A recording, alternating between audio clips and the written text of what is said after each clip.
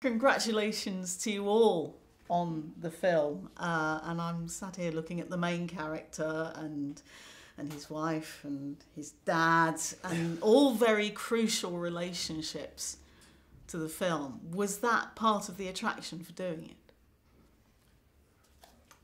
Yeah, there's a light at the end of the tunnel in this. It's not. It's obviously a very tough subject, but it's.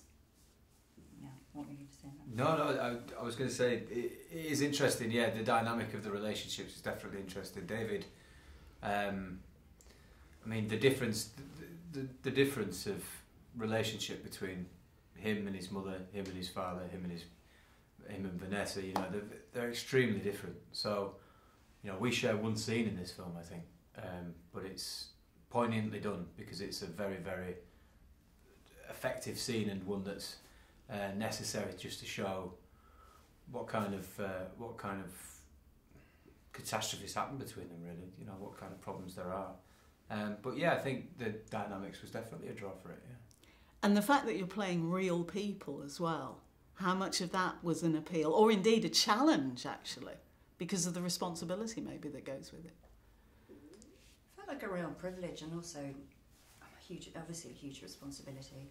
It was invaluable to be able to be with them and, and talk with them and research it and prepare that way. And David was there often on the set, almost most days, which was tough for him, but he would say it's about the message, and that's what he would tell himself repeatedly to get himself through it.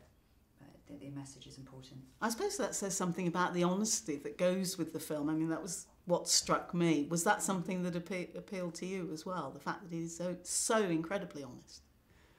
Yeah, and he's for, he's forthcoming with his experiences. So uh, he's at a point now where he's discussed this subject so often and readily that he can he can let you in um, to a shameless extent, which is ideal.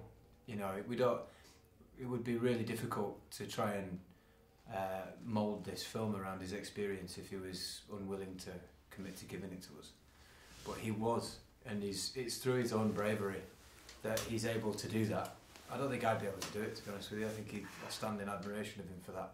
But he can, he'll take you through an experience, and he's able to relive it. And but like, um, you know, like Emily said, it's it's because he's fueled by he knows that this message might just be able to help someone.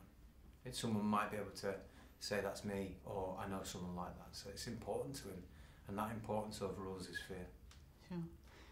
Dougray, you've got the unenviable task of playing somebody who doesn't have a single redeeming feature, as far as I can tell. How on earth Well- do you go about portraying somebody like that?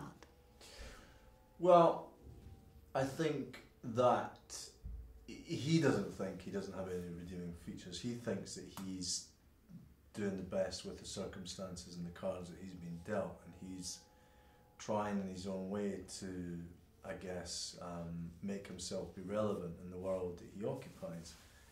You see that in the, the earlier scenes in South Africa where he he's deeply uncomfortable and slightly embarrassed about the position that he finds himself in, having, he thinks, in his eyes, been promised a different kind of office life, as it were. And he uses the people around him to um, find the power that he feels has been taken away from him. So he abuses his wife and his son, and both different reasons, but I think his own experience as a child informs his relationship with his son. And you know, it's tragic, really, when you think about um, the effects that his behaviour has on not only his wife but obviously David as well. And uh, he's kind of it's inevitable in a way because he can't stop himself. You know, he's a deeply complex character.